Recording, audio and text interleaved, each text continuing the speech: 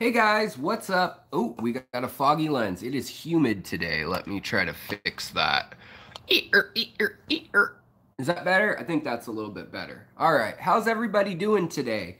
Um, you know, this video, I want to kind of get at the heart of what the channel is about, which is messy hairdos. No, which is, uh, if you were to get inside of your fish tanks and peer out at the world, and say you're a fish confined, locked away in this fish tank, and you look at all the things around you in the fish tank, and you look at the big noisy water maker, and you look at the scary water bubbler uh, that has air coming out of it and hissing, and then you look down at the, the gravel that's looks like clown vomit. No, none of my tanks have the the crazy uh, psychedelic rainbow uh, gravel, but that stuff comes from somewhere. And I'm not making fun of people who want to have a crazy decked out uh, tank with lots of decor and stuff. I'm just trying to make the point that your filter, your air stone, the stone or pumice or uh, whether it's synthetic, all of that comes from somewhere and we have to pay for it. I mean, I would assume you have to pay for it or steal it. And it has to travel and it has to get into our tanks. Some of us live in super remote places. I mean, I know that we have viewers living down in Tasmania, and not to say that it's the middle of nowhere, but it geologically, eh, eh, geographically, it is so far from the United States or a lot of places where you may source some of the products that you're using, or Europe, for instance. So today I just kind of want to, we can talk about whatever, but at the beginning I wanted to throw out some stuff. Um, for thought, some food for thought on the things that affect the pricing of our tanks, but maybe more importantly, yeah, much more importantly, on a human scale, I want to discuss the things that are going on in these regions where we get our fish from and how they control the hobby and how we can choose through what we buy or where we buy it, how the impact changes for people. So, the first and most common thing, uh, and hello everybody as you filter in. I know that usually these live streams kind of take a minute to get rolling as people filter in and get alerts and whatnot. Um, so hello, uh, Louis uh, Segura and or Lou Segura, Goose Not Maverick, Rico, Digao, uh, and all y'all filtering in. So, what I want to talk about though is something, for instance, like Celestial Pearl Danios. They're a fish that has been so popular, so everyone loves them, right? I mean, well, a lot of people like them in the freshwater community. And did we have Celestial Pearl Danios in our hobby? I don't know, when I was a teenager? No. Did we have, I mean, before 2006, we as a Western society didn't know that they existed. Okay? So, why is that? Well, I mean, there's several factors. They're from a remote region called Shan uh, on Lake Inle uh, in Myanmar, known as Burma to a lot of English speakers. This was once a British colony and then handed over to the people and became a dictatorship and a very, very private country.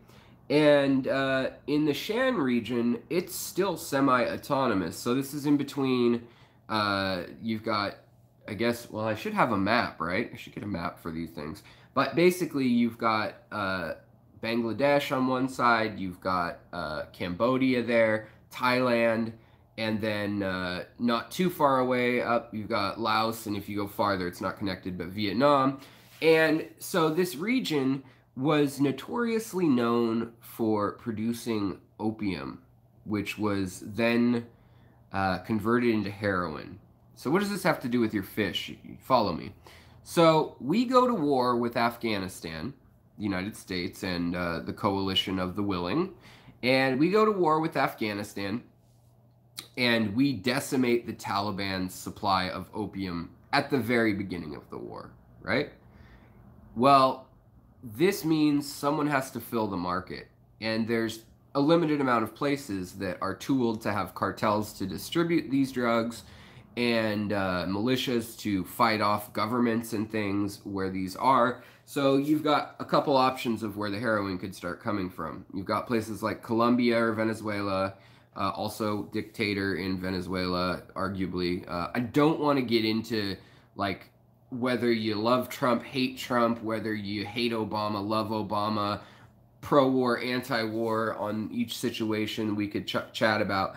I just want to show cause and effect. Um, and you can argue that maybe one thing's good and it has 20 bad things, and I'm not focusing on the bad things. Well, I'm just talking about the fish here and a line of thinking. And I just want you to maybe think bigger in your everyday life and and and consider the impact of things that we do and research where your stuff comes from because one i think it's fascinating and that's what this channel is here to do is i learn and i share what i'm learning or stuff i've learned long ago. Let's get back to afghanistan. So war's going crazy in afghanistan.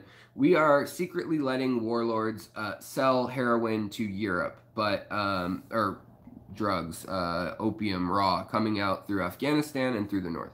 Uh, through uh, ter- down the southern route through Iran, and then south, and then to the west, or north into the west. And this route uh, is the the northern uh, coalition, the Northern Alliance, whatever you want to call them, uh, who were anti-Taliban warlords, um, who tried to rule after the Russians. So you could go all the way back to the Russians or the Mongols. You can take this as far back as you want, why war started there. But let's just get to it. So heroin starts getting sold in Afghanistan. That's a huge region. The Taliban comes to power because of heroin.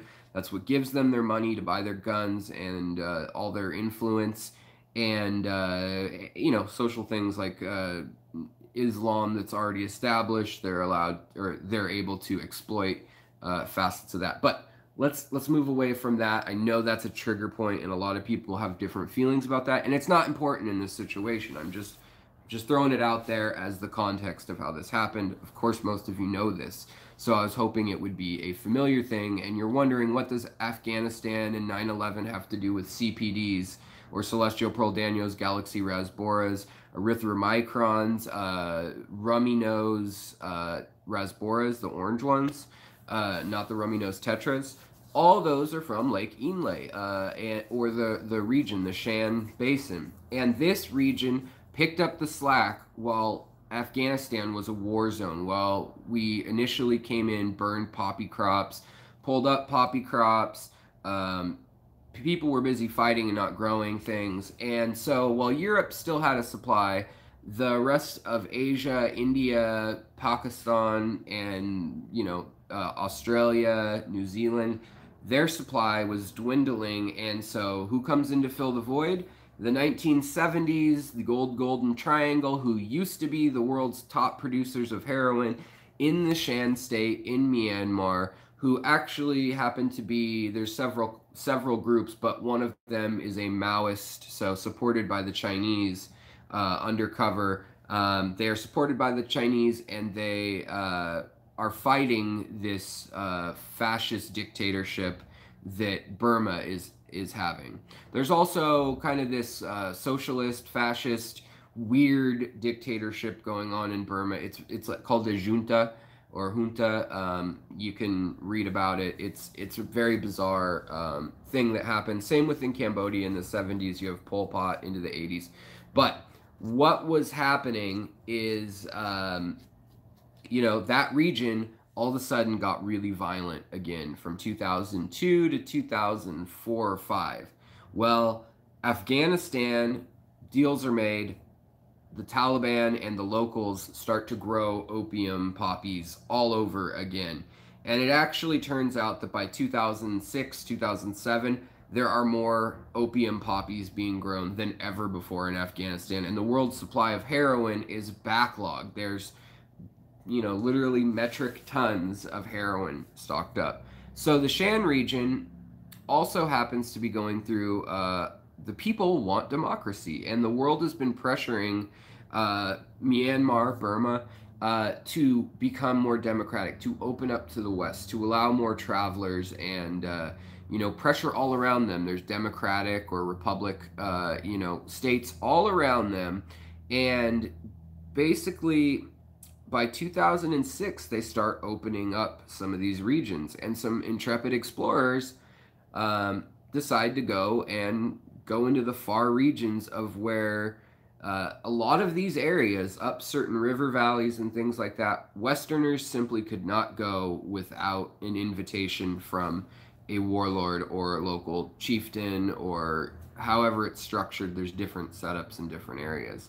But because of that, 2006 is a crazy year, and we find 29 new Danio species, Brachiodanio and Danio, bunch of Rasboras. That's why the Galaxy Rasbora, or aka uh, CPD, Celestial Pearl Danio, Danio margaritatus, uh, that's why it was confused. It was in the field. They're like, look at this little fish. It's sparkly. It's probably, yeah, it looks kind of like an, a lamb chop rasbora or SB rasbora, or something like that.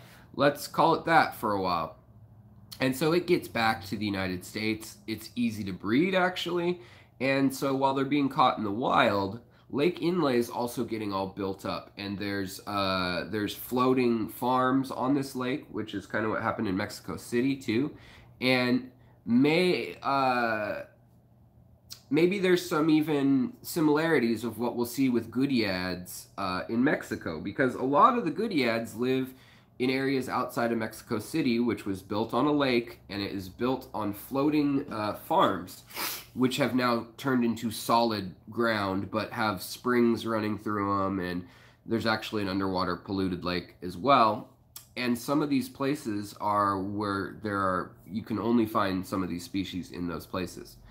However, Mexico has also picked up the slack now that the Golden Triangle is not producing heroin. So or less heroin. So now Mexico is producing the bulk of heroin coming to the United States, which is the biggest market in the world uh, for those things, Canada and the United States, and uh, as well as cocaine that they're bringing out of southern uh, South America. And all of the sudden, we don't have access to certain uh, parts of Mexico, you know, or if you go, you're kind of a cowboy, you know.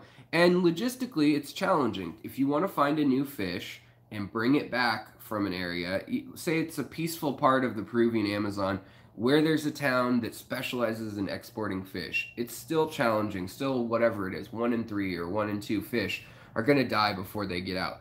But try getting on a Jeep where you have to check in with warlords and checkpoints and different villages as you get farther and farther into places uh, or different corrupt officials.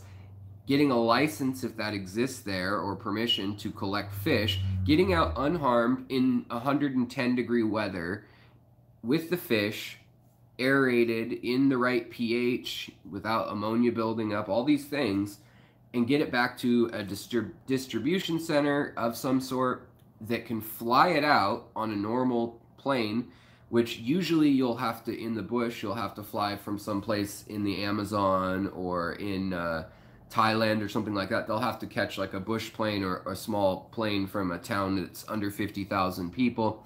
They'll fly that back to a main hub, a main exporter. Um, one sec, let me grab the info because I actually was chatting with the people at Segrest, at Imperial, and at 5D, and a few other places, and asking them how remote are the fish that you get sometimes. Like, you know, how do you get fish that take five days to get out of the water?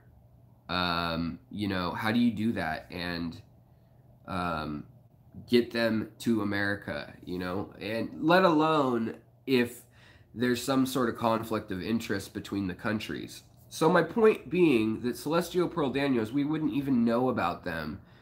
Possibly you could look at it as if the Taliban hadn't been, if their amount of heroin uh, production hadn't been decreased, uh, and then all of a sudden spiked up in increase, we may not know about the Celestial Pearl Danio. It's just like food for thought. So that's one kind of like out there, and I know you're watching my channel because maybe you have an interest in this, but that's one out there example of it with a long chain that probably was boring. And now that we have people in in the in the chat, let me take a sec to say hello. Uh, wow, somebody had a name that got deleted that was extremely vulgar, and I have no idea how they were able to have that name. Uh, Red on Betsy, you rock. Bob and Betsy, my intrepid uh, admins, you guys rock. Peter, what is up, buddy? Jason, hello. Hello. Um, Chubby Guppy, what up? Derek, uh, 186. Guppy Puppies. I love saying that. Guppy Puppy, Guppy Puppy, Guppy Puppy. Um, and Bob, Mr. Science Geek. Uh, names I can't say. Sean Gardner, uh, Kaler's Aquatic. That's Bob. Uh, so, in any case, if you haven't yet, check out Bob's channel. He keeps so many friggin' cool fish, and he has like a glut of fry right now that are just really cool to check out. I, I love just watching him raise them because I don't have the space right now, but hopefully soon. All right, so that was an extreme version that I just wanted as food for thought. Like, so this fish gets discovered by two people in. Uh, so Lake Inle has had tourists coming and going more and more the last 20 or 30 years. But before that, it was really extreme travelers if you were from the US. Now, some European countries have different um, relationships with those countries, and it makes it easier. So that's why a lot of fish go to Germany like Dennerle or Aquarium Glaser, uh, and then they come to the U.S. because simply they don't like Americans there, or uh, they may have um, lack of trust, you know, with American explorers. Like, what are you doing here? Are you CIA or you know whatever by these militias and things? Same with Papua New Guinea. Uh, you know, people like uh, Gary Lange um, and uh, Alan and uh, who else is in in the crew? Um, uh, Wim. Uh, anyways, you guys can look up all the people that go on these amazing adventures, but uh, you know, going through into places like Sudan, like Lawrence Kent, he happens to be in my local um, fish club, and he is a volunteer worker for the Bill and Melinda Gates Foundation. So that is why he's in Africa in these really hard to reach places.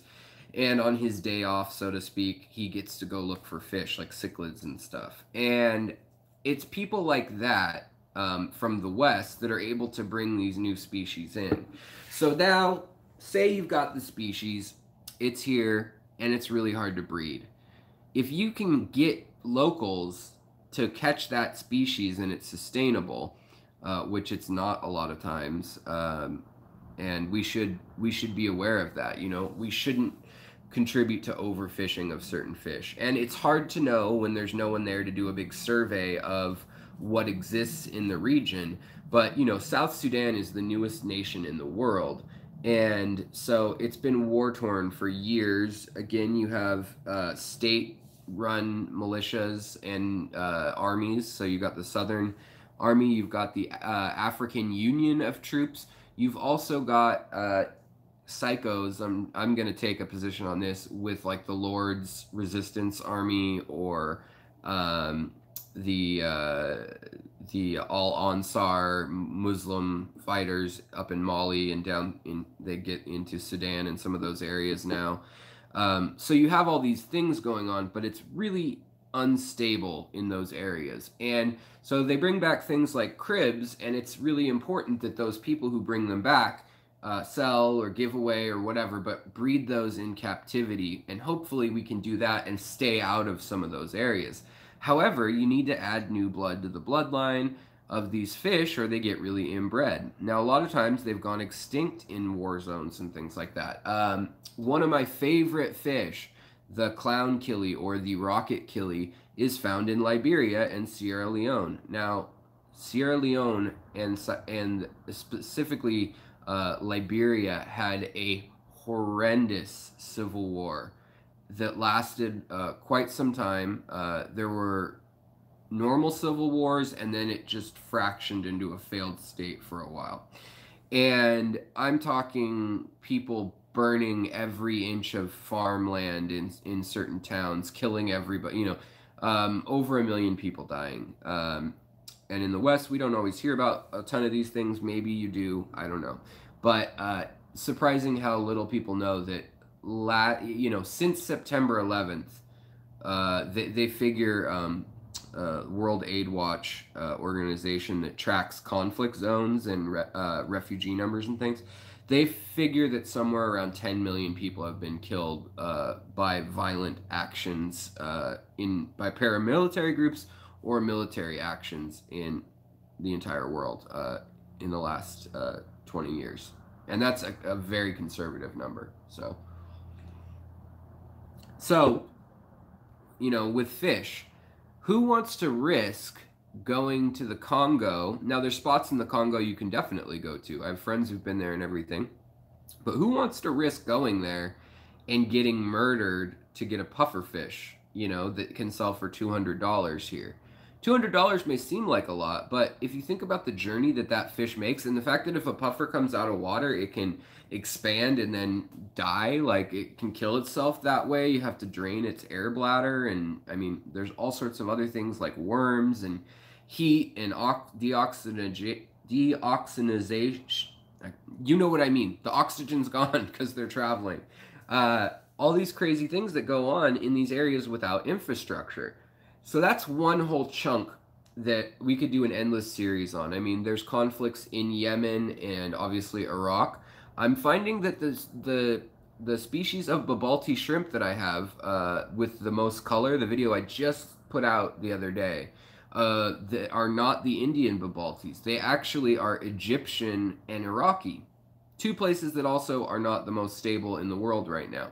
So those were brought out about 20 years ago into uh, the East Asian trade. So Taiwan, Thailand, um, Singapore, and Indonesia, some of those countries that really like to breed shrimp and nanofish. And so now they've they've uh, entered the U.S. via that way, but we we would we may be hard pressed to go through those areas. And there's uh, an incredible documentary. There's several, I'm sure, but there's one that was really good written on the marsh Arabs, marsh as in like a swampy marsh, and Arab as in Saudi Arabia, that live in Iraq. And it's a small area that was dammed by Saddam Hussein. And uh, basically, he starved these people out of their way of life, which was living on boats and woven mats in these marshes. And some of that has been restored, but there's still all this conflict ethnically and in the vacuum of, uh, I mean, even though uh, Saddam Hussein was a monster, um, there was a level of stability there for about 20 years. He did his worst. They kind of relocated, readjusted. They were oppressed, but they, they were there. And then there were other groups, like some of the Shia militias and things down there, that came in and uh, uh, actually, some people argue that there's been a genocide against them. There's um, everything from Coptic Christians to different sects of Saudi Arabians and things. But my point is, the shrimp that I have that I just did a video on, I'm not, I didn't talk about all that, but somehow they made it out of a war zone over to Asia. Were refined in Asia, bred for the strongest ones, the prettiest ones, whatever, and then they make it here it's incredible that I can buy them for even $10 a piece to me. That blows my mind, you know? But I'm going to breed them and then I'll sell them and maybe I sell them for $8 a piece and on and on it goes. They're in the hobby. Uh, let me catch up on some comments. I know it's uh, Bob, I like the new logo. Um, let's see here. Uh, do, do, do. I'll have to come back and like actually read some of the comments because I always miss some of the stuff going on when I get carried away. Uh, Gerardo Rivera, hello. So, um, the next thing I want to get to is the teaser on the clip in the very beginning, right? So, obviously, I'm poking fun or poking around the idea that China and the United States, China, uh, that's not that's that's not how he says it. Um, you know what I'm talking about. China. I'm gonna say it just loud. That's a good impression, right? Uh, so when we do trade with China, um, you end up with do I think? Yeah, I'm a, I'm ignoring you, uh, Betsy and Bob. Sorry, guys. I know you guys are good as as admins. Um, I'll have to read all the terrible things you said about me later. Um, no, you guys rock. Um, so in China, obviously, a lot of our equipment in the in the aquarium trade comes from China. Surprisingly, a lot of our glass is still made in the United States. Yay, go USA! And a lot of tanks are. But if you want ADA stuff, well, that's going to be Japanese. Where's it made? China. Now that's a whole other weirdo story. Like they may assemble it in in uh, Singapore or in Japan, but they get glass and raw materials from. Uh... yes. Okay. Alan, thank you so much. So Alan just had a $5 super chat. He said, please use this to fill out the UNS. So I've been waiting to get a UNS 90p tank for like four months now. I have the money set aside because you guys rock, and okay, I've I've paid some rent and stuff, and so now maybe the money's not quite set aside. I still want to go to Aquashella. I'm still waiting on some details of days, and I really want to buy my plane ticket, but I'm waiting to hear back from the organizers, so it's getting a little stressful. But I'll keep that to myself, um, just because if I'm gonna speak or do anything or do a demo or be part of an aquascaping thing, I need to know, be there, and I need to get stuff and be there early and organize things. Uh, and it's coming up at the end of September. Uh, yeah, end of September. So I'm getting stressed on that. But back to what I was talking about China. So basically, a lot of our stuff comes from China. In our houses, if you live in the United States or the Western world, a lot of stuff comes from China. Okay? Uh, like it or lump it you, I would, you know, I love it when there's American made stuff too, but there are just, um, you know, there's a lot of things that China can make cheaper and then they get sold at PetSmart, Petco, places like that. Um, there's a lot of filters and plastic pieces that are injection molded and, um, you know, the labor to put them together and the, the sheer number of amount of pieces. A lot of things we buy in this hobby, like sponge filters and things, there may be a hundred brands around the world, probably more, that use the same physical sponge filter, and there's a spot to like press a label onto it or whatever, and they sell it out. And that's how China does a lot of business. You know, they have an entire widget factory that makes just the container for this, you know, or just the castings for these lights. Ow, that's extremely hot. Um, but and the LED, the Cree LEDs. But uh, a lot of them are actually they're getting better and better. For years, China was always thought of as the, the cheap breakable stuff, but now it seems like there's cert, there's levels, you know, because outside uh, in, influ, outside influence has demanded that. Like we're we're gonna pay a little more, but we want better stuff. So you can vote with your dollar and buy whatever you want. Maybe you only want to buy uh, from Dennerle or um, Fluval or Eheim, you know, German and French or Tropica Denmark, you know, brands, things like that. Um, but there's a good chance you have some Chinese uh, stuff in your place. And uh, a lot of our fish come out of Hong Kong. So a ton of goldfish. I would I literally four days talked to four days ago. I talked to um, three people at Tropica, uh, at um, Imperial, and 5D, and then I already talked to Segrest a while back when I was down there. But almost all the fancy goldfish sold that come from overseas are coming out of Hong Kong. Now, when they get inspected, they have a People's Republic of China sticker on there. They go through customs because uh, Hong Kong's in this weird political state. I don't want to get into all of that, but basically, it is independent or autonomous for 50 years after 1997. It used to be British, and for now, it's its own territory, kind of like Puerto Rico in the U.S., uh, except even more uh, autonomous. But that means that we have all these British and European people hanging out in Hong Kong, yet they can buy things right across the bridge uh, from these massive farms in China. So it may be that we're dealing with brokers, same with Singapore and Indonesia and Malaysia. Singapore is this city state. It's it's one city that is the entire nation, and they're you know top of the world uh, in in exporting things like arowanas and discus and uh, goldfish and koi. But goldfish and koi, obviously, you can get them in Japan, which is great. Those are very high quality. The kind you would see at Petco or PetSmart, they're almost all from either Hong Kong, China, or uh, Singapore, uh, places like that, Indonesia. And when we have a trade tariff going with China, I was told that the day sanctions were mentioned or tariffs were mentioned, their cost of goldfish went up 25%. So we have a 25% kind of blanket tariff. Now, that doesn't even mean that those companies in China necessarily are paying that tariff yet or have felt the pain, but because they don't want to lose money, they know they can't go lower than some of the prices that they're at in some of these areas. They're already they're getting free electricity from the sun to heat their ponds. They're getting water that's local um, and then filtrated, and uh, a lot of these big outside ponds you just can't compete anywhere else in the world other than tropical regions. And, uh, you know, just like in Florida, that's why 90% of the fish farms for tropical fish in the U.S. are in Florida. There's a few in Texas, a few in California, but they're all in a really warm area. So, how has this changed what's going on in in the uh, ornamental goldfish world?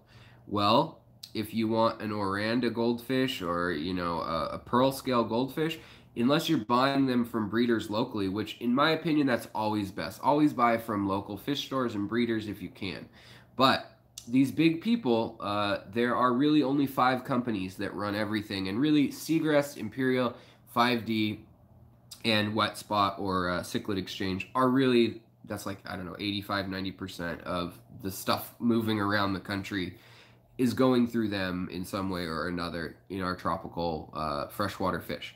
So, all those fish that were being bought from Hong Kong, which shouldn't even be affected by the tariffs, in theory, it's actually they're sourcing it from China, so it is.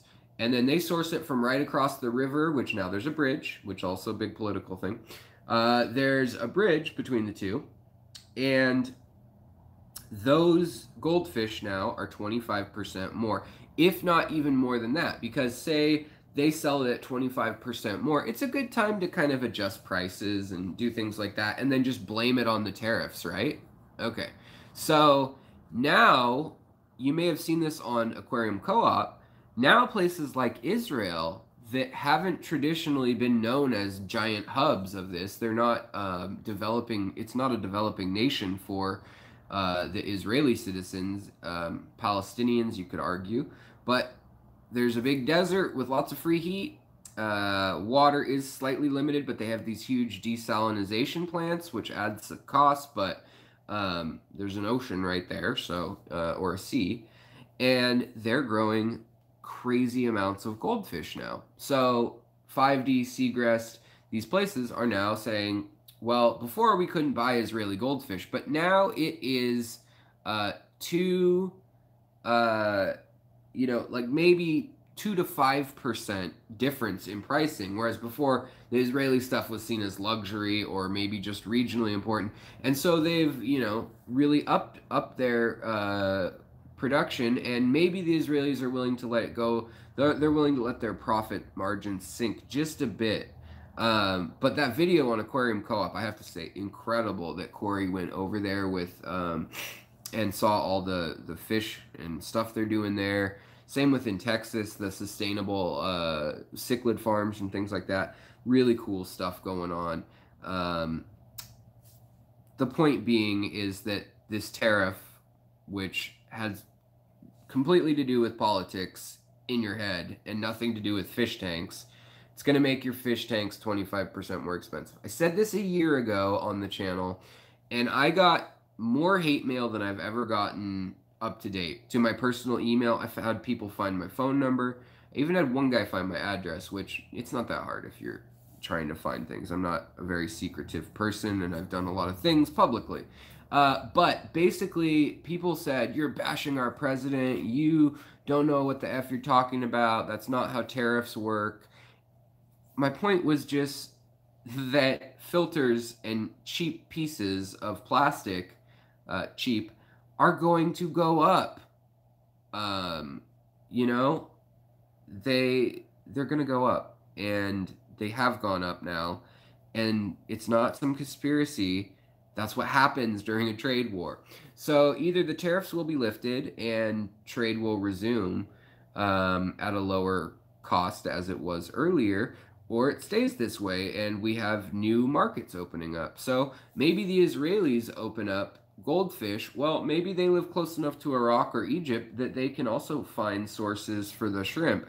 Maybe they start growing Babaulti shrimp. Maybe the price of Babaulti shrimp drops and people start keeping them all over the place. There's just all these crazy unintended consequences that you can trace back to the story of each fish as you look in the aquarium.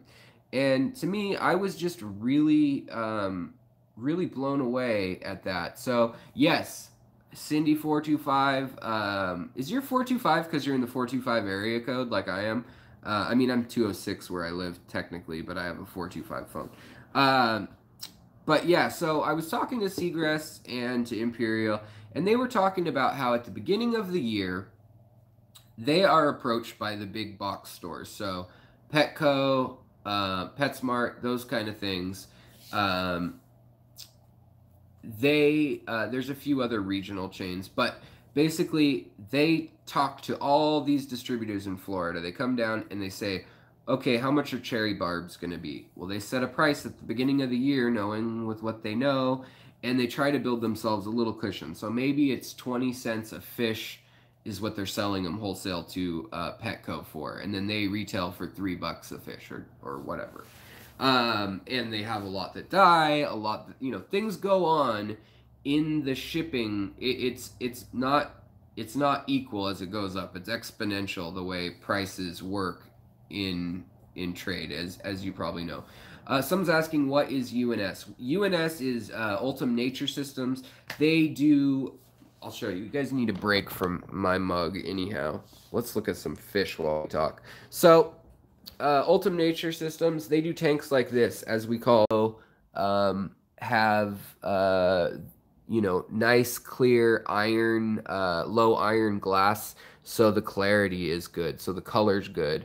Uh, I know on live streams the color's crap, but um, yeah, so that you can see your aquascape the way it was meant to be seen. But uh, I was supposed to have uh, a friend who was able to get me uh, the UNS 90p, uh, which means 90 centimeter, 90 centimeters across, which is actually the exact size of this table. So the upgrade would be get a new table because this is a 1950s refurbished farm table set that we have that I got at a garage sale from my wife. Uh, and basically, uh, this profile and footprint of this, plus it's about this much higher. So we would have a whole big tank. So a 90p yeah, it's actually I think it's bigger than 44 gallons the way they do it. Um, every company uh, does it a little differently, but I want to say maybe not. Maybe it is 44. I, I, wanted to say for some reason 52 for some whatever. It's all done by metric, but the whole point is that um, I was willing to spend around $400 for a rimless aquarium and I thought it would be really cool to have um, a big aquascape to work with rather than the sizes. You know, I did the 40 breeder downstairs, which was a nice size, and we've done this uh, 17.5 gallon. Isn't it crazy, guys, that the 17.5 gallon still has like a 28 or 39 or 30 inch uh, view, uh, view uh, so it still has like a 75 or 60, no, it's probably 60, 60 centimeter or 70 centimeter front. And the difference of a 90 centimeter, I mean, it like almost triples or quadruples the, the, the volume. Um, so in any case, things like the celestial pearl I was talking about at the beginning. I love these fish. They're one of my favorite fish. You see one swimming right here. Um, yeah, there's a little algae in here today. Uh, but those came out of Myanmar, a war zone.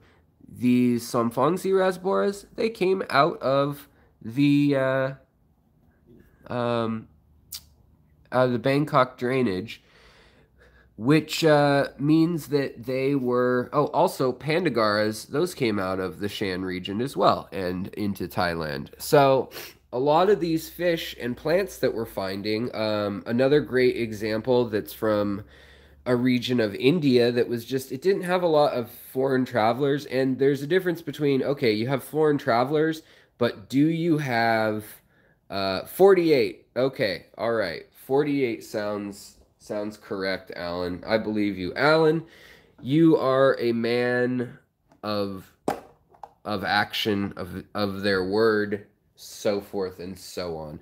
Um, you know what I have here, guys? This is just just to liven things up a bit while we're chatting. Uh, I have a bunch of mosquito fry that I've been keeping outside. So let's feed let's feed the little fishies. So Somphongsi rasboras tear it up. They just, I mean, they just go for this. My wife hates when I do this because she thinks that the mosquito larvae are going to get away and like end up hatching in our house. And I just laugh because there's no way, no way that one can usually even get past the initial onslaught of fish, let alone, uh, that they would hide long enough. They have to come to the top to eat or breathe, I should say. Uh, yeah. So yeah, mosquito larvae, mosquito fry, as I jokingly call them. It makes my wife uh, larva sounds like gross and insecty, whereas fry sounds cute. I think. So they're mosquito fry, guys. If you're having trouble selling the idea of having stagnant ponds.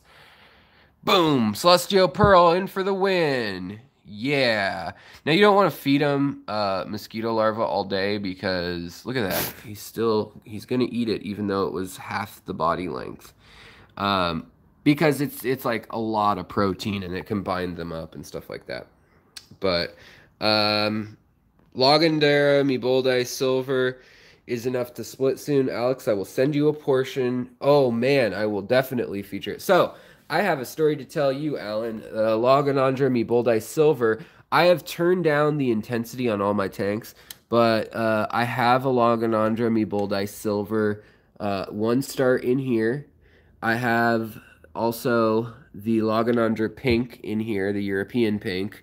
And then I have a red back in here. And obviously the CO2 is not cranked, so you're not seeing all the colors and the lights aren't cranked. I was just sick of the algae algae for now. So let's look over here. I do have the silver meeboldii, Lagenandra meeboldii in here. But, wow, not too impressive, is it, when it's at the bottom of a 40 uh, tank. But you can see the silver on it, right? You can see the silver. And then also, like, uh, let's see, uh, my, uh, th this uh, white or variegated Anubias uh, Nana and then I have also a gold coin.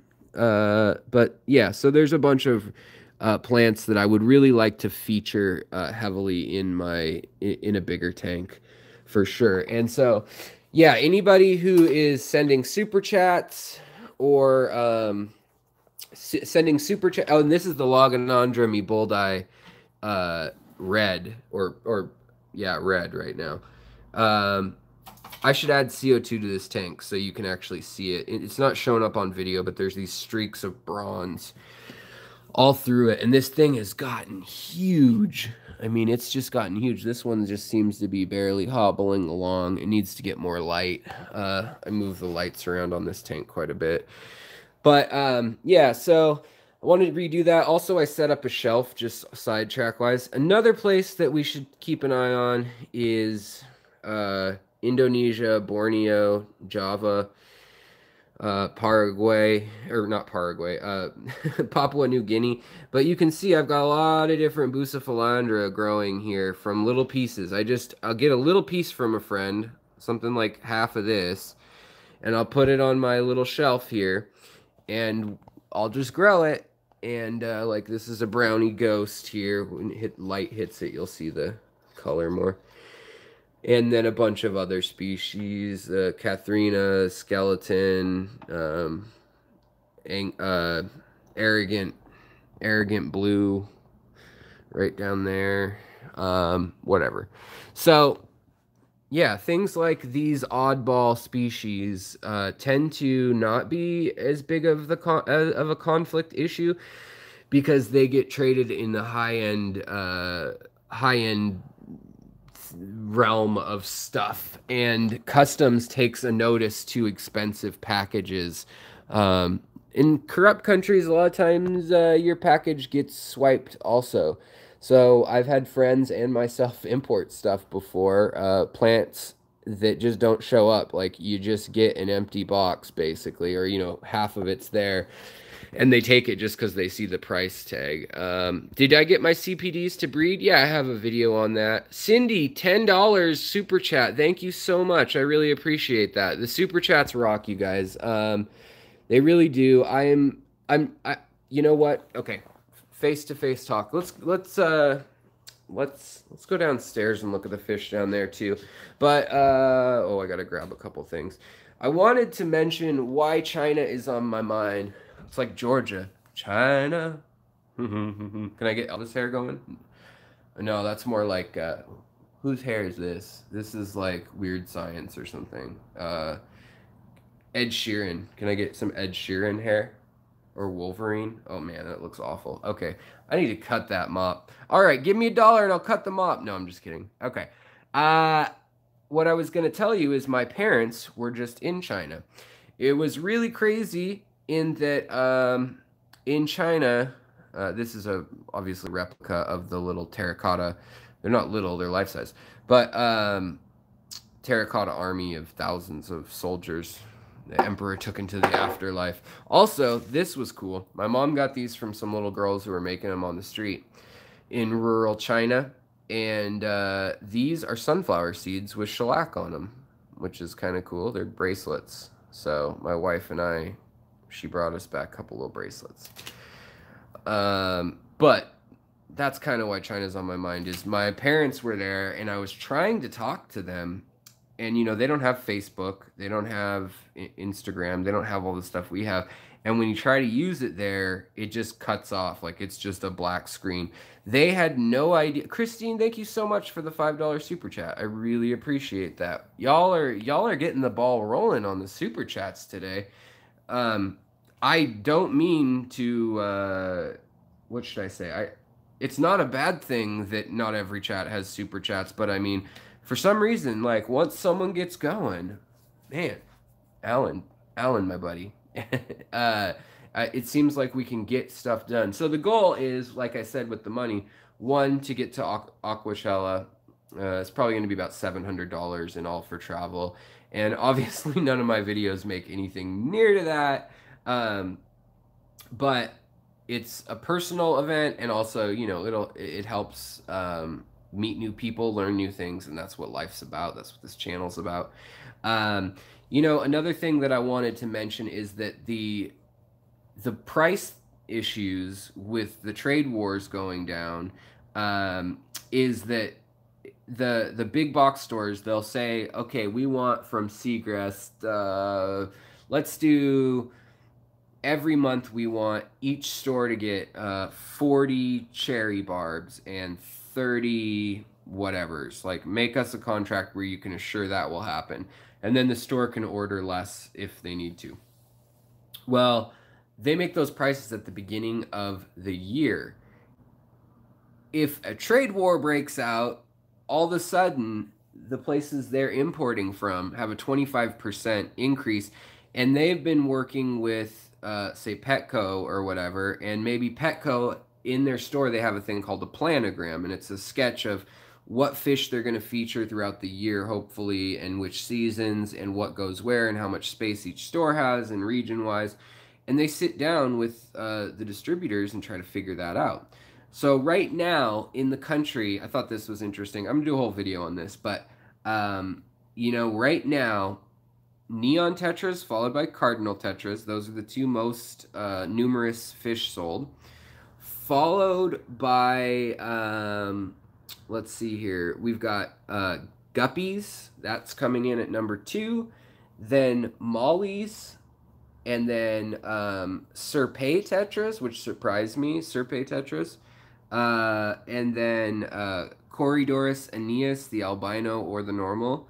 And then um, platies, mollies, and swordtails, like different variations, are like a big chunk of uh, the upper part of the top 10 and into the teens of the most sold fish by numbers. It's really hot in my house right now. Um, but yeah, so, you know, if you want to see those big box stores having more diversity and stuff, it's probably, I mean, you can ask them for it, you can demand it, but really you need to get those distributors to have the ability to have to, to get those things.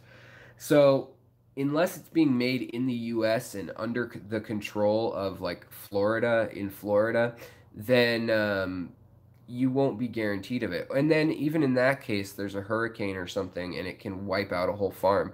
I have friends now that I've made that have farms in Florida and they are out for a whole year. They've they can't fulfill their contracts. The fish all died.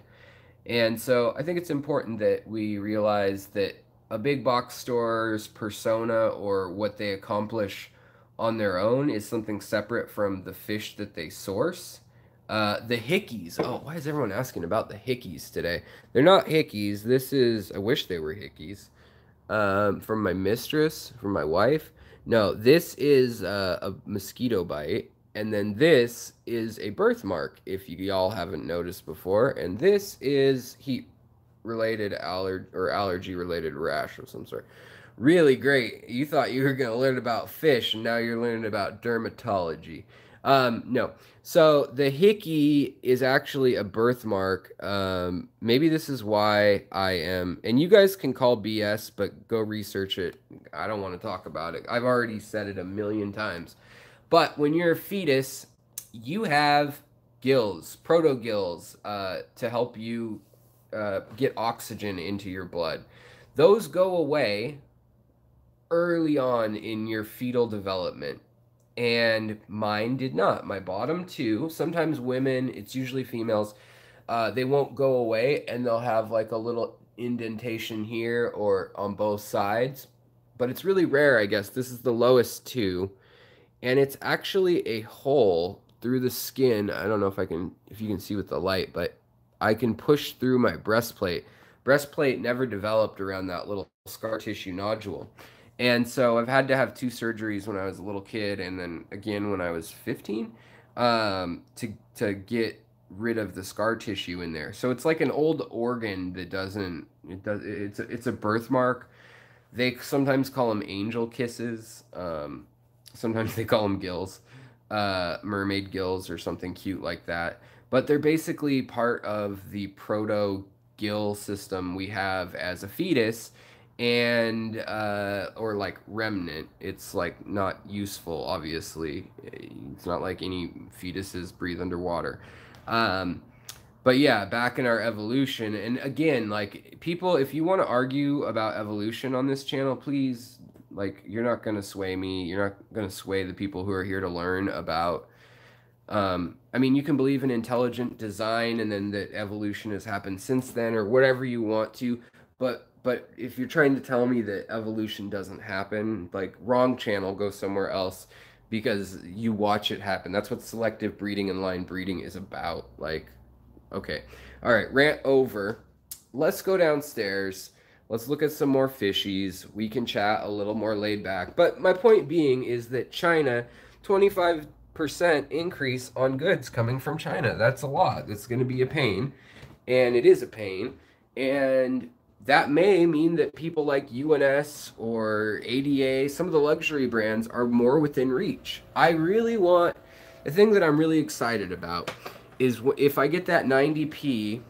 Here's what I'm thinking, guys. So it's about the footprint of this and a little taller. Uh, it's 90 uh, or what is it? So it's uh, 36 inches by 17 inches by 17 inches. So it's taller than this.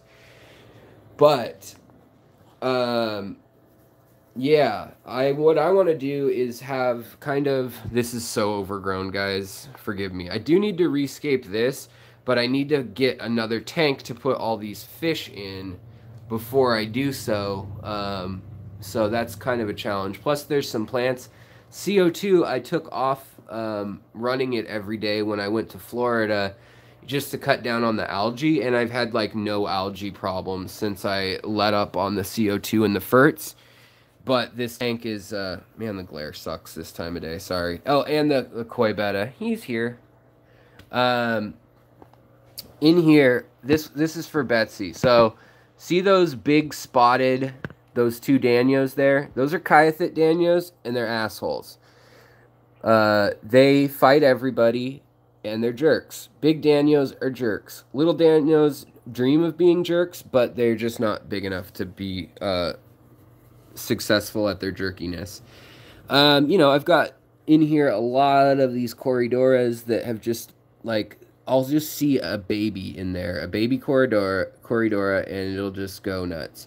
Yeah, Alan, you're right. I could just use a Rubbermaid and do that. Um, maybe I will do that. Um, but yeah, that Betsy, that's for you. I know you said you wanted to declare war on them. Also, I want to put red cherry shrimp in this tank, even though it has like gouramis and danios and bigger stuff. But it's so dense right now that like the red cherry shrimp I threw in there as a trial are doing super well. A few have gotten picked off, but I think that they'd be fine in how dense this vegetation has become. Uh, let's see here if we can look at some of the stuff. But China made.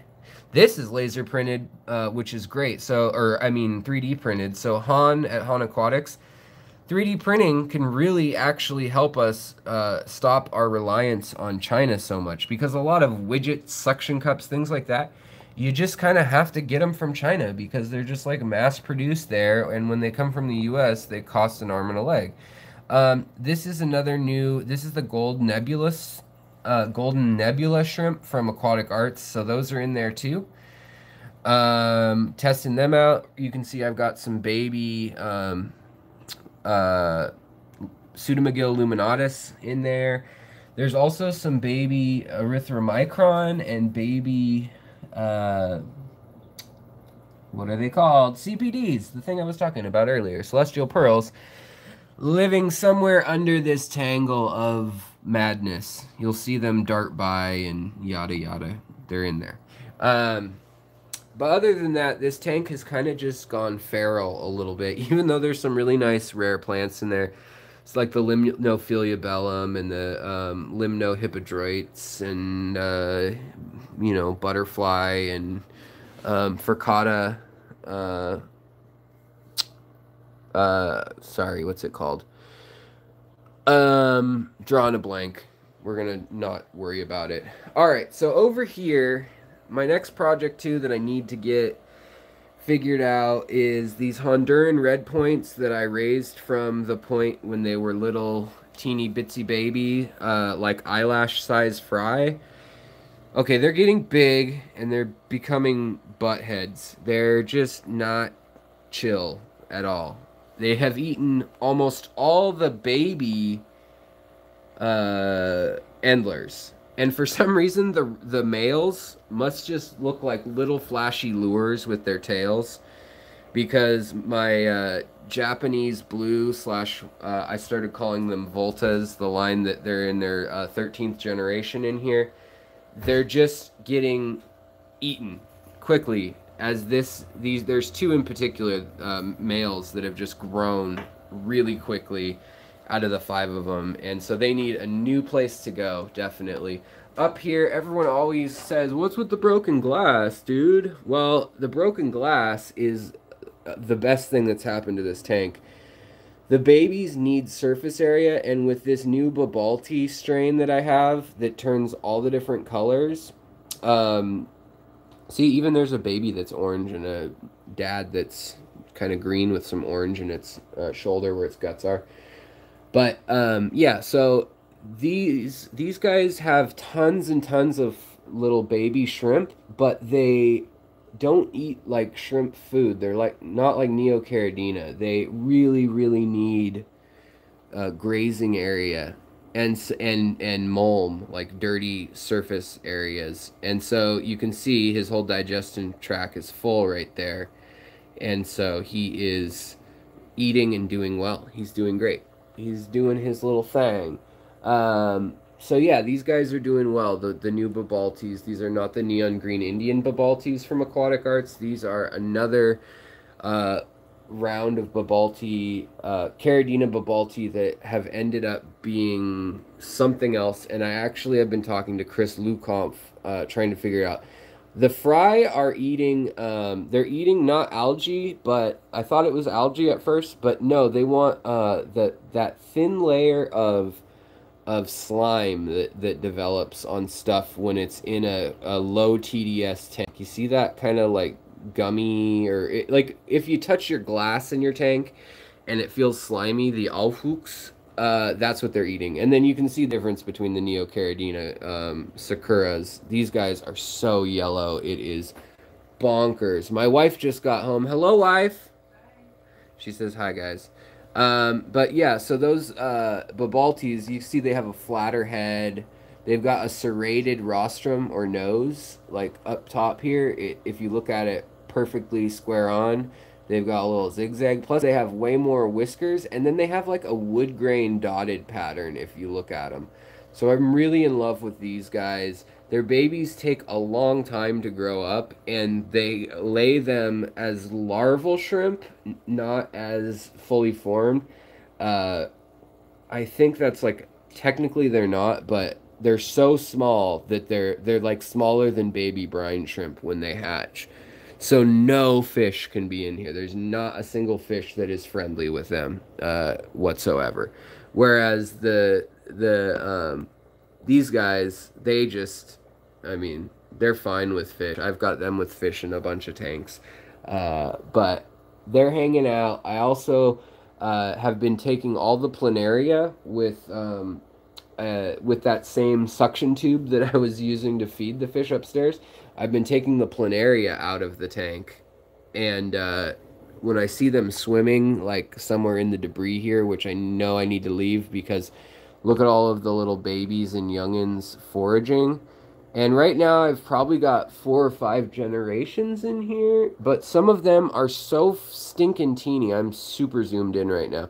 Broken glass seems to uh, grow that that slick slime layer better than anything. And then they'll they'll eat it. I'll wipe it off. I'll throw it back in, and you can see this this nice slime layer. So I basically just up the level of surface area and honestly, they weren't reproducing the last or the first six months I got them. Sorry guys, the zoom on the on the um, the gimbal when it's off is really odd. But um, yeah, uh, in any case, the the babies are super teeny, and uh, these are the ones that are probably Iraqi or um, you see how teeny those guys are.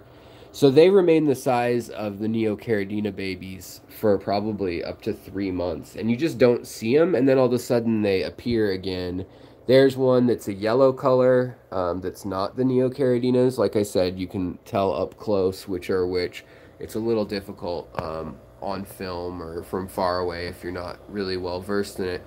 They're much more sensitive though. I don't think they see very well, and they've got these whiskers that really allow them to see or feel vibrations in the water. So they move when something enters the tank on the other side of the tank. They'll move the opposite direction. It's kind of crazy. Uh, but they're really fun. Uh, Aquatic Arts has uh, or had them. I hope they get more back. Um, and obviously, you guys know on this channel, I got lots of uh, lots of uh, coupons and we're doing giveaways. We're doing uh, over a thousand dollar in gift giveaways from aquaticarts.com. No purchase necessary. In here we have Malawa shrimp, um, which are Caridina species. They're hanging out, but I'm worried these guys are going to eat them real quick, like any week now. So the plan, I think, for now, maybe some of the Malawas are big enough that they're okay.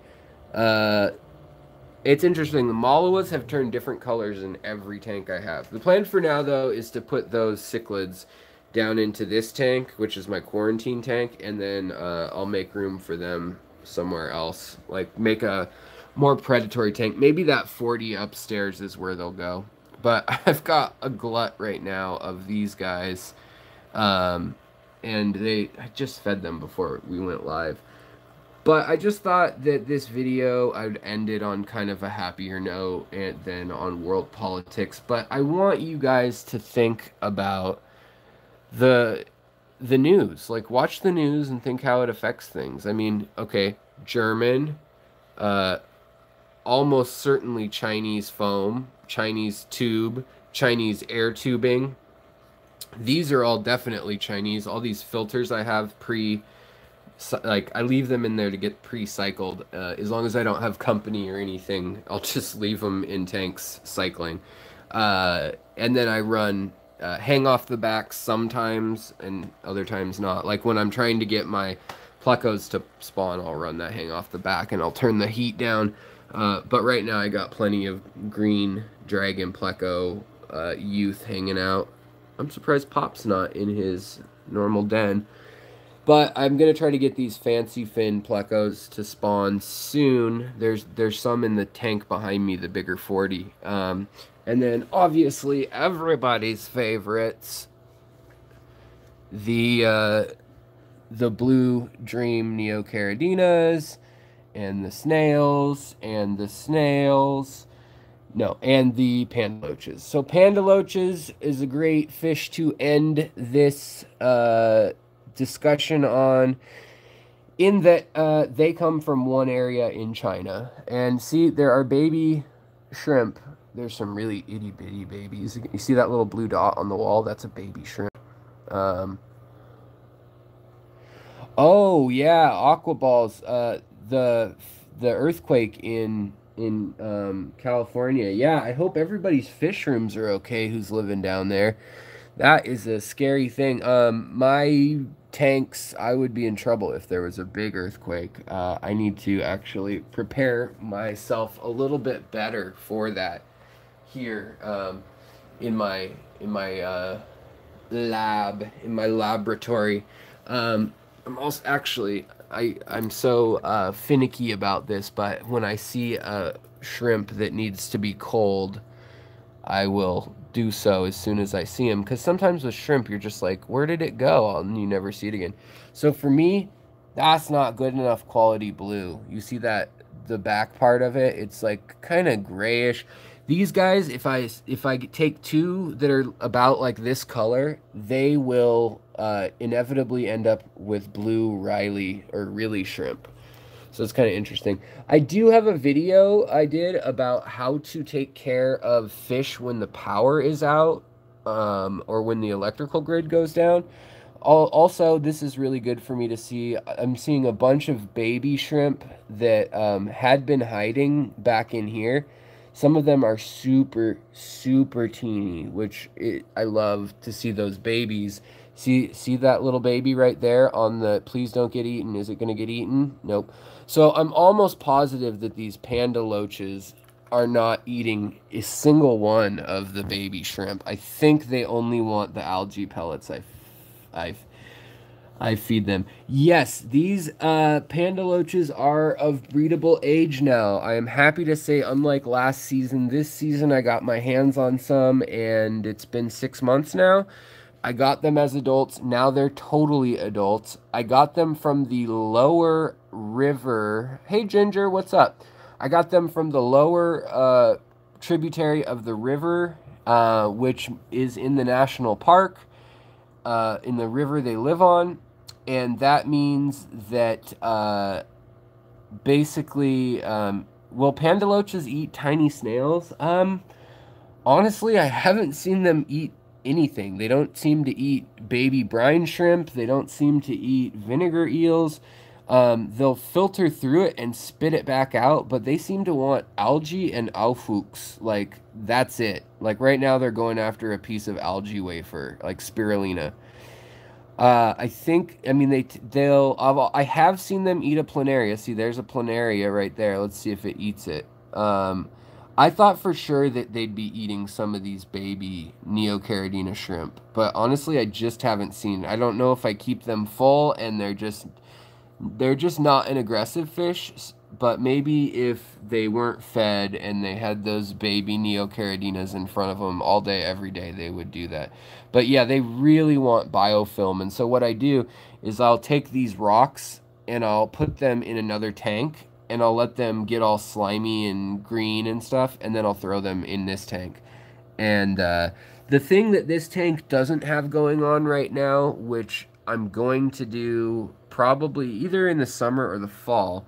Uh, probably the end of summer uh, because that's their natural time to to um, to one of their spawns. I tried it in the spring and it didn't work. They weren't old enough.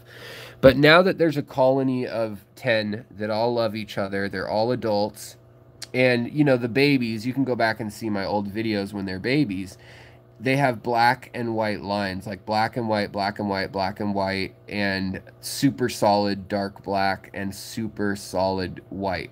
Now, half of the species actually turns a buttercream more like um, like these rocks on the white part, and on the black part, it's like this color, like a translucent brown. So one one branch of the the river they live in. They only live in one river system in the world that we know of. Um, but one branch of that river they color up like this, and the other they color up like brown. And I separated my browner ones are upstairs, so there's three browner ones upstairs.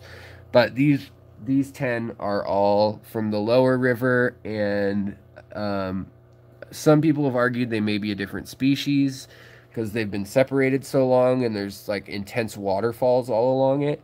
But um, yeah, these guys are fully adults and I love their patterns. So many people complain, "Oh, they get old and they they don't have the the patterns." I think these patterns, the males have these crazy head patterns and I think they are incredibly beautiful. And they're just so cute. They just dog pile on with each other at night for bedtime they all just hang out on that rock and then the the biggest males will go hang out up here and kind of survey their their perch females will go hang out just have a female party back in the Susswassertang I don't know what they're doing and then the males just come out and graze um, in different areas and don't they seem to stay lower than the highest male is in the tank so like if, if there's the alpha male sorry about the glare so either he or where'd he go? There was another one. Oh, back up in here. Are the alpha male in the tank? I think. And the other ones seem to stay lower in the water than him, which is interesting. But the males, the females have these more plain heads like this, here? Um, and technically a little wider belly and less big um, floppy uh, fins, their pectoral fins. Whereas this guy, the male, he's got these big old floppy fins that he can actually uh, come out and climb like up a stick. If I put a stick in there, they'll sometimes kind of shimmy up it to eat algae for a few seconds and then they flop off back into the water. But they the males have this cool head pattern. You see it? But the the bummer about these is that I think they're being poached. And there's no way to know for sure other than going there and finding out. But I think the males are being poached in it for the hobby. And um, that's a bummer. So I really think it's important that uh, if you get a hold of these guys, uh, Aquatic Arts gets some from a source that uh, that is uh, definitely not poached. It's one of the few that have a license to get them.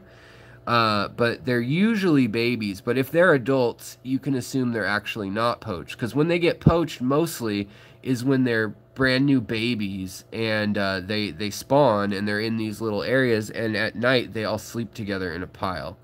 Um, and so when they sleep together in the pile, it's uh, it's you can come in with a net and catch like a thousand babies at once um, because there aren't that many fish in this river. It's a very fast river. So to get them to breed, what I'll do is I'll drop the temperature down to like 60 degrees or 58 degrees probably. They're at 72 currently. And uh, I'm going to get power heads and also do a water change a day of 50%.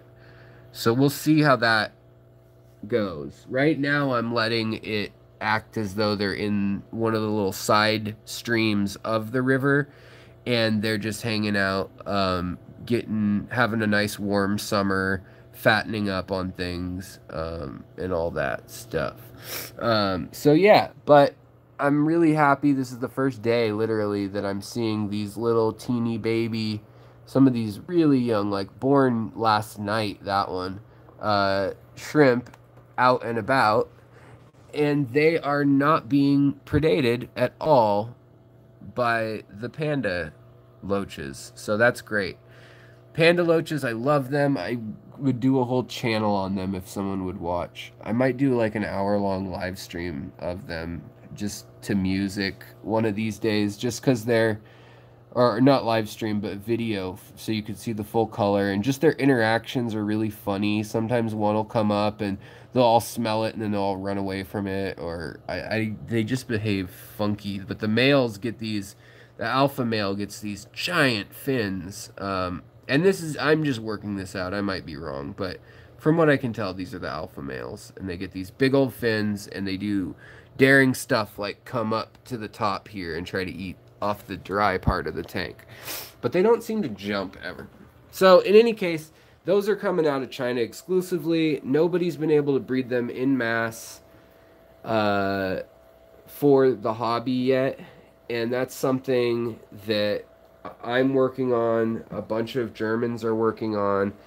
And yeah, we're all just trying to figure out if there's a way to do that so that we don't need to so that we don't encourage any poaching. I'm not going to buy any from any source other than the three licensed sources that work with the Chinese government and actually get them out of the park and they're given a quota uh, and they sell through uh, Singapore and then also through Germany. Like they'll end up in Germany. But um, yeah, you can see what is going on. Her saddle is so weird looking. I wonder if those eggs are rotten. Hold on. Her saddle is, well, now they're shrimp. They're being shrimp. They're being all shellfish and fighting each other. Here's one turning a, a sun-kissed orange color right now. It was just green, and now it's going to turn yellowy orange. But yeah, Babaultis, real easy. Even though they're a Caridina, they're not like they're they're almost identical to the Neocaridina to take care of the them the live adults. But don't put them with fish if you want any babies. Their babies are itsy bitsy teeny weeny polka dotted yellow babies, and um, they yeah they won't grow up. So um, that's about all I have for today, guys. Unless anybody has any burning questions about trade wars and um, uh, Keynesian economics versus Austrian economics.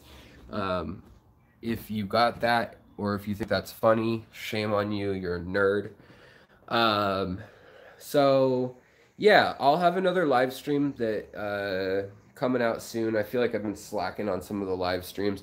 I'll get my gimbal back out. So I know I've been I've been a little shaky with the filming because I've been using my gyro and my tripod. Man, my hair is just like, it's so humid in here. The hair is just frizzing out. Uh, oh, and hickeys. Yeah, I'll, I'll be back with lots more of my hickeys. I'd rather people think they're hickeys than like poison oak or something, you know? Um, I have them in a small aquascape, 10 gallons at two uh, Obatis with uh, two Galaxy Rasboras and two Algae Eaters. Cool.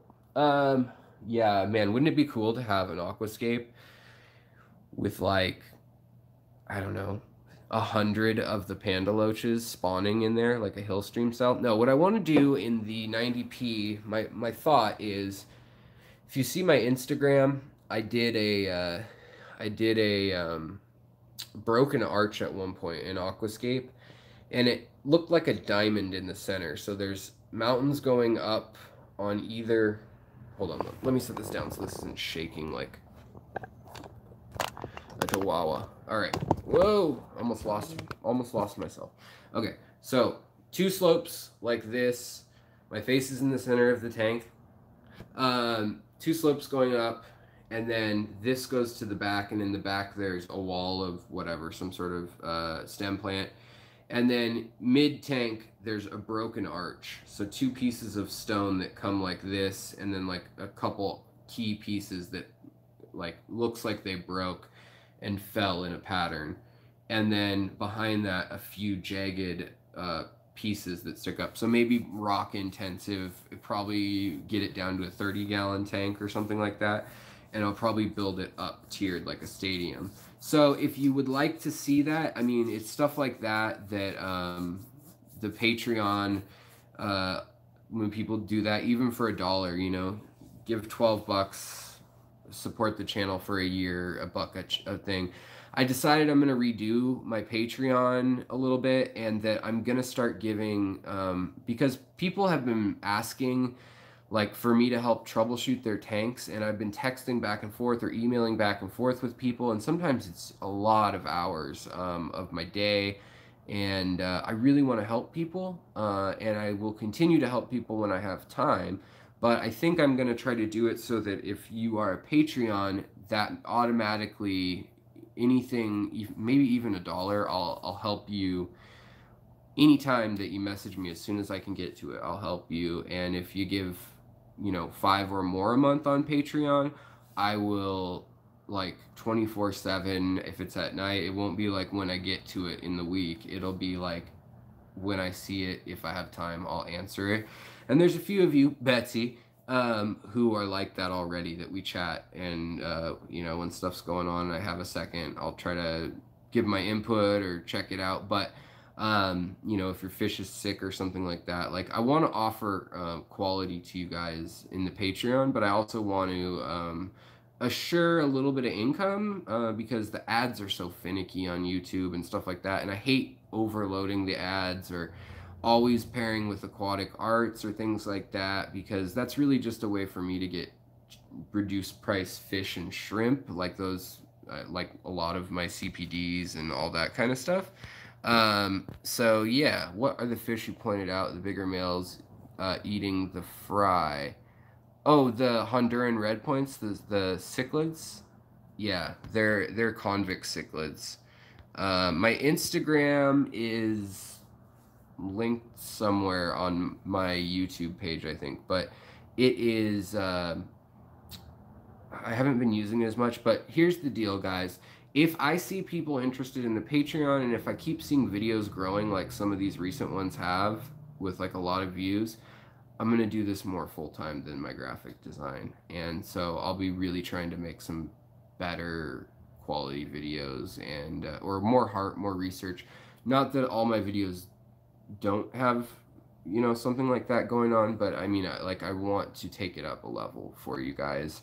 And also just provide something that's not out there that in-depth long form i'll probably do some short form like troubleshooting videos more too and top 10s that are kind of fun but i want to do at least one like good historic dive video a week and then one top 10 type video a week and then one live stream a week and then anything extra is whatever but that's the goal. If you like what I'm doing, um, you can support me that way or just by watching. I know not everybody has, you know, a dollar a month to spare or have another bill. I get I get it. You know, you guys all do things. A lot of you guys contribute so much like um, you know, Bob and Betsy that it helped me out with with uh, digitally running stuff and all that uh, stuff. So a lot of you help out or send me little samples of stuff, which is always cool. If if it's something I genuinely like, enjoy, and think other people should check out,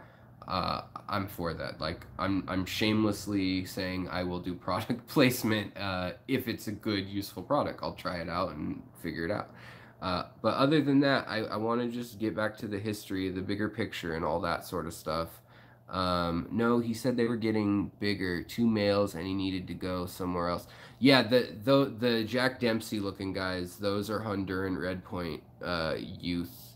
Um, but yeah, um, they're convict. They're a type of convict cichlid. They'll get red dots on them. Uh, but yeah, thanks, Bob. I, I like the history videos too. Quite honestly, um, I want to think of a more engaging way where I can get people who maybe aren't into history and politics and things like that to it's not about the story necessarily here, like in the hobby or this one story. Like today, we covered a couple weird stories.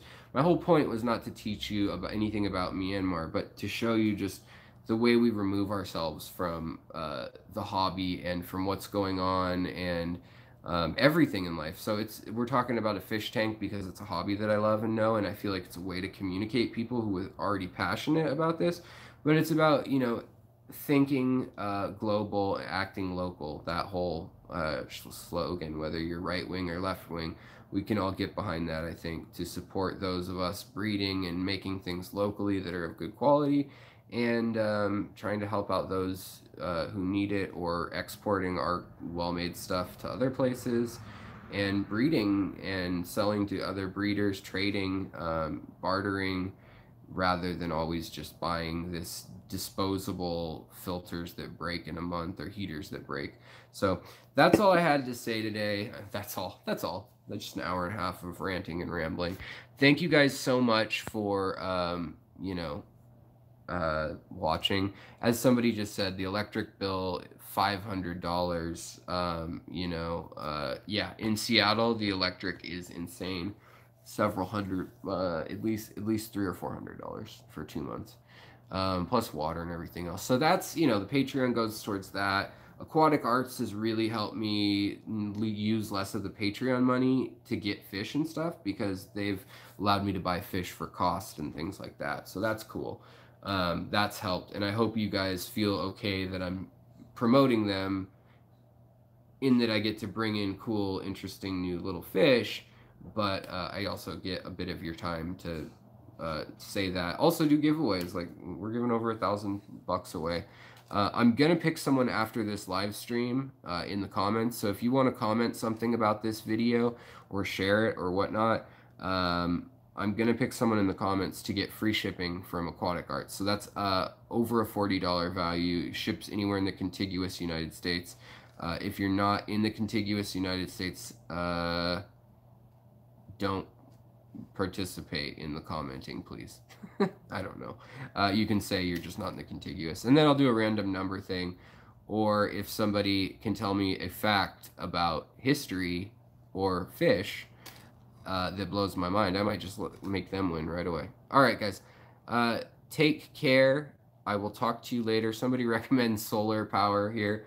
Uh, I live in Seattle, so uh, it rains 200 days a year or something like that. We do solar would be somewhat helpful in, in, but the initial investment for me is too much at the moment. But someday, I mean, if uh, Patreon ended up being 500 a month, I'd totally spend like you know a couple hundred, uh, you know, a couple thousand on that. But no problem. Bob, thanks for sharing, buddy. Thank you for the super chats today, guys. Y'all rock. Uh, if you have questions, concerns, comments, just leave them uh, and I will talk to you guys uh, later. Of course, I have more history videos coming. I have a bunch in the works, plus my video from Florida. Uh, I still am editing and just playing around with the right time to release what, or if I can tie it into another thing. So uh, that's all. All right, guys, take care. Have a wonderful day, and I will talk to you later.